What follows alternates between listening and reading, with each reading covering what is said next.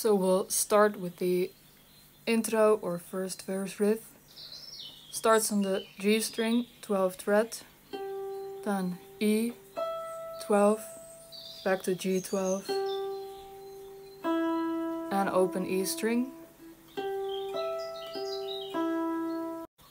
Then D, G12, B13, D, G12, and open E. So that is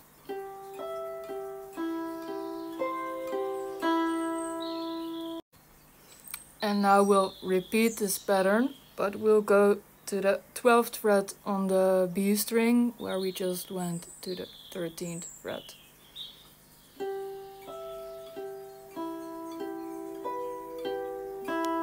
So together.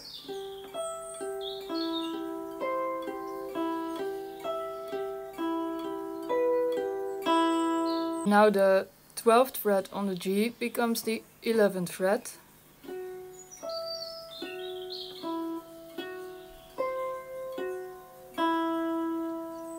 Again.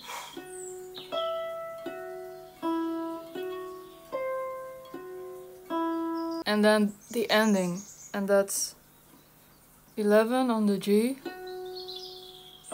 12E, 11G, and then open E, and we'll go to B, 8th fret, and then 11G, and open E.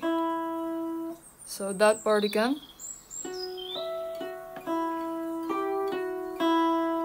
And the reason why I'm playing these two notes on different strings instead of just this is because I want them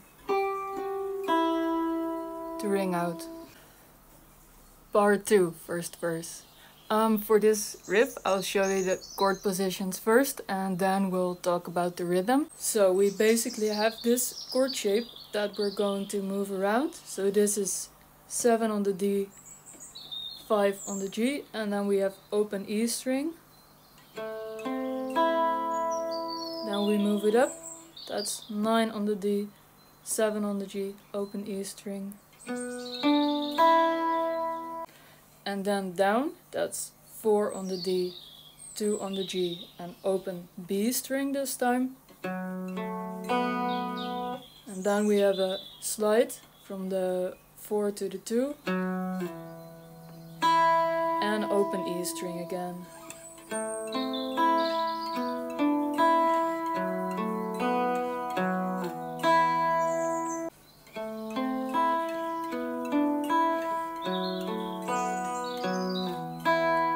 So this riff starts on the offbeat. It means that we skip the one here.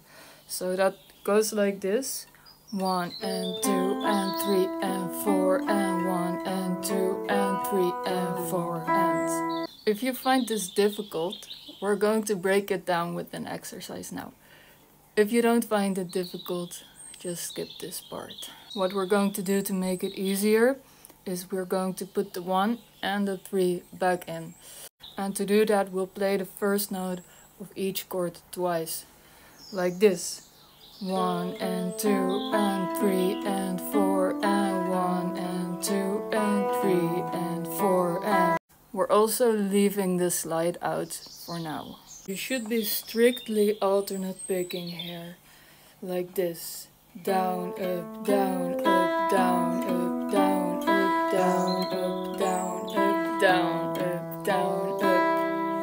alternate picking is really important.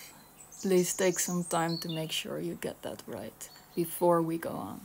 Now we're going to put a strong emphasis on the second note of each chord. So on the 1 and 2 and 3 and 4 and... At the same time we're going to try to make the first note very quiet.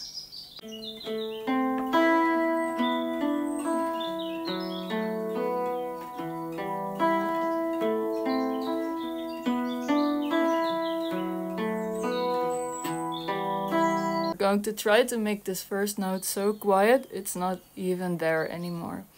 Uh, and after you've done this for a while, try to see if you can leave it out entirely. But make sure to keep this motion, your picking hand, going. We can also do the same exercise, uh, but then we'll put a ghost note on the first note.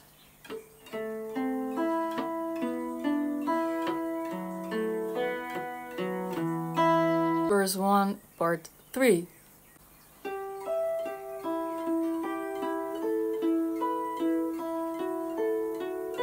Then we'll start with 12 on the G, 12E, 12G, open E, then go to 9 on the G, 8 on B, 9G again, and 10 on B,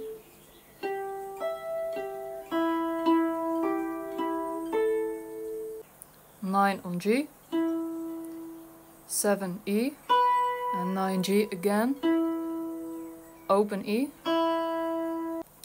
11G, 10B, 11G, 12B.